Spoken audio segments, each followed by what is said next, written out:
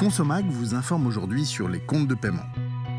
Issus de la première directive européenne sur les services de paiement, ces comptes permettent d'encaisser et de dépenser de l'argent. Les comptes de paiement n'imposent pas de passer par une banque pour leur ouverture. Vous pouvez également le faire auprès d'un établissement de paiement via un buraliste ou une enseigne de grand magasin par exemple.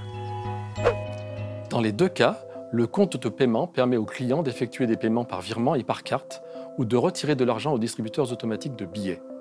Un compte de paiement peut être alimenté par virement ou dépôt en espèces. Il permet également d'émettre des virements et des avis de prélèvement. Enfin, notez que les comptes ouverts auprès d'un établissement de paiement exigent les mêmes mesures de sécurité qu'un compte bancaire vis-à-vis du piratage, de la fraude ou de la perte de ses moyens de paiement. En revanche, sachez que lorsque le compte est ouvert auprès d'un établissement de paiement, il n'offre pas tous les services d'une banque, notamment les découverts ou la délivrance d'un chéquier. Un établissement de paiement ne peut pas non plus proposer de produits d'épargne comme un livret et ne peut proposer des crédits que de façon très limitée. La plupart des établissements de paiement perçoivent des commissions lors du dépôt ou du retrait d'espèces.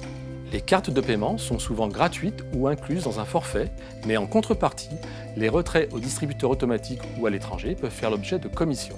Il est également important de bien tenir ses comptes, car les établissements de paiement n'autorisent pas un seul centime d'euro de découvert.